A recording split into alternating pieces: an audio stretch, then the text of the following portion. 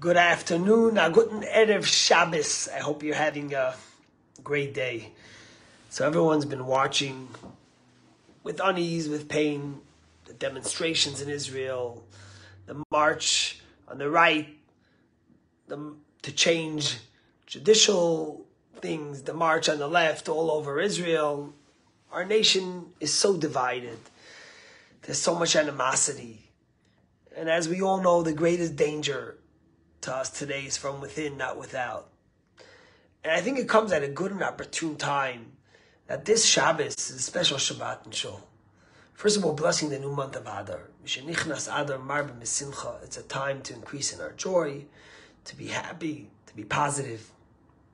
But we also read a second Torah portion, which is a portion of Shkalim, which is really the Torah portion of Ki Tisa, which will happen in three weeks on Shabbat, where God commands the Jewish people that they should, each Jew should give machatzit hashekel, a half a coin, for charity to support the Bedek Habayis, to support the upkeep of the temple and the, and the sacrifices, etc., etc. And the question is twofold. First of all, if God wanted to count the Jewish people, why count them by the coin they give? And the second question is why specifically a half a coin? Why not a whole coin? What's the significance of a half a coin? And the Rebbe, in one of his talks, speaks about something very powerful. The first thing is like this the reason why God wanted every single person to give and to be counted by how they give is because if you talk about the Jewish people, and as Moses tells us in Deuteronomy, we are a small nation, the smallest of all.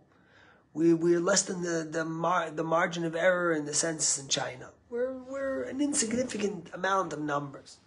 But if you count us by our contribution, if you look at what we've given to the world, from medicine to economics to Nobel Prizes, or as Thomas Cahill says in his book, The Gift of the Jews, you can't cross the street without encountering the gift of the Jewish people, the civilization, the gift of the Jewish people to the United States of America, if it's judicial, if it's if it's in, in how we have our morals, our values, monotheism.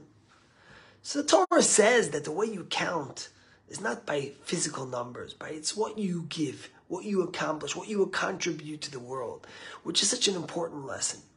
But then the Rebbe says something else. That's why you have to give, but why a half a coin? Says the Rebbe, there's two things here. First of all, the Torah is telling us that a human being has to be humble and has to realize that on his own, he's only a half. Without another human being, without the other fellow Jew, he's incomplete, he's a half. You think about the right, about the left. This one is saying enough of the ultra right, they are extreme, and some of them don't work, and what do they contribute to the country? And this one's saying what the left, they're so secular, they don't care about God, and they don't want they don't want our country, they want to give it all away. We have to recognize that in order to have a country, in order to have our homeland, we need to realize that we're only a half.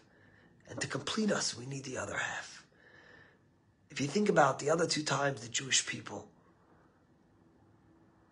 had their own sovereign land in Israel, both times we were expelled. It was because from within we couldn't get along. At the end of the day, what God's telling us with the Machzis HaShekel is that you need to recognize that you're only a half, and to be a whole, you need to look across the aisle. So yeah, you say, what does the other side give? What is the other side? Why are they important our nation? That's what makes us complete. And the second thing is, to those on the left and the secular, and they say, who needs God and religion? The Machzit HaShekel comes to teach us that a human being, a Jew without God, is only half. He needs God to complete him, to complete her. You know, not everyone has, is religious. Not everyone is going to keep Shabbat. Not everyone maybe eats kosher, but to have the holy land of Israel, the land that God gave it to us, and to succeed there, we need God. We need to invite Him in, not chase Him out. We need to embrace God and religion with love and recognize that when we bring God in and we think about the other on the other side, then we get a whole Jew, a whole country, a country that contributes to the world in numbers beyond anyone's wildest imaginations. So may Hashem take us that as we go to this Shabbat Shkalim, that we recognize to be humble, not arrogant, to be kind and sensitive, to realize that our own we're only a half, and we need to embrace the other side. We don't have to agree on everything. We don't have to give in on everything. But we need to listen. We need to embrace. And we need to know that we need them to enhance our country. And the truth is the same is true in America for us American Jews and for us American people. We're constantly bickering. It's either my way or the highway. That leaves you incomplete. That leaves you unsuccessful. And that leaves us with no way ahead for our country. Shabbat Shalom. And if you're in town, we hope to see you on Shabbat. And hopefully, together with the others, you'll be not a half but a whole by being with other Jews and by being with God, praying together. Shabbat Shalom.